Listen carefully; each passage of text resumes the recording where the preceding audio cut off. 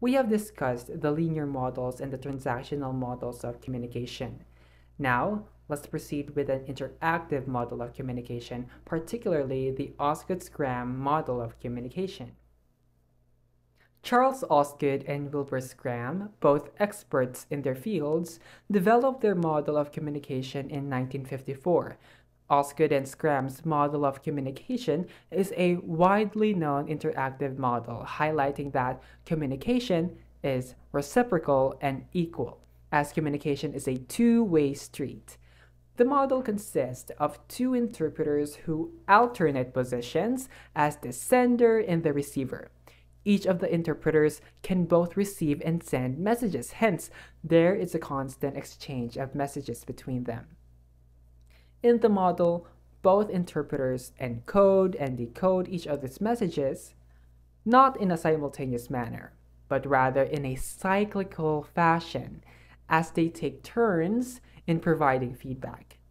Also, the model stresses that messages require interpretation, in which encoding, decoding, and interpreting are the three steps for communication. It showcases that humans are active communicators and that communication is complex. On the other hand, the field of experience of the interpreters determines the way they interpret the messages they receive from each other. And it is also to take note that the presence of a semantic barrier is also a key principle of the model, wherein such barriers would distort the messages. To elaborate on this, let us use the skit presented earlier. The classified interpreters in the communication event were 1. Ms. Moreno, and 2. The audience. For elaboration, we will be referring to Mr. Ligario himself as the audience. Mr. Ligario is an accountant at the same company where Ms. Moreno works as an HR manager. The field of experience of both of them would revolve around the work culture of the company, considering that despite having different departments, they share a joint corporate mission, vision, and core values. Yet it is also to consider that the nature of their jobs is different and they live distinct lives and experiences outside work. Thus, setting a semantic barrier between them. What does Mr. Ligario know that Ms. Moreno doesn't know, and vice versa? As Mr. Ligario asked a question regarding the infamous phrase about the HR department, from where do you think this information is from? How did Mr. Ligario acquire the phrase? Well, one thing for sure is that the acquisition of the phrase roots in Mr. Ligario's field of experience. So by this, Mr. Ligario already has a stance.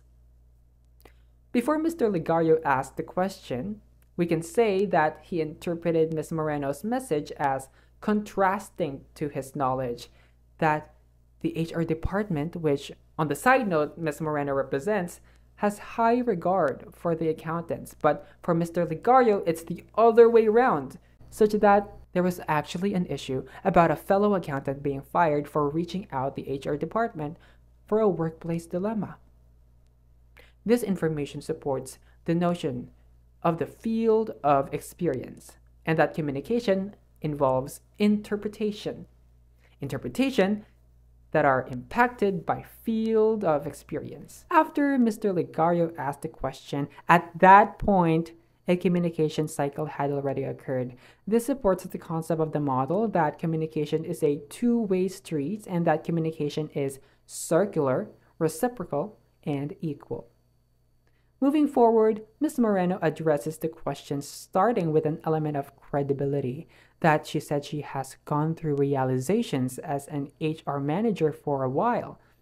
As this supports the notion of field of experience, it also supports the concept involved in the model that communication is the alternating of the position of the interpreters as senders and receivers, or in other words, encoders and decoders. Lastly, the semantic barrier between Ms. Moreno and Mr. Ligario allows for the need to defend at the end of Ms. Moreno.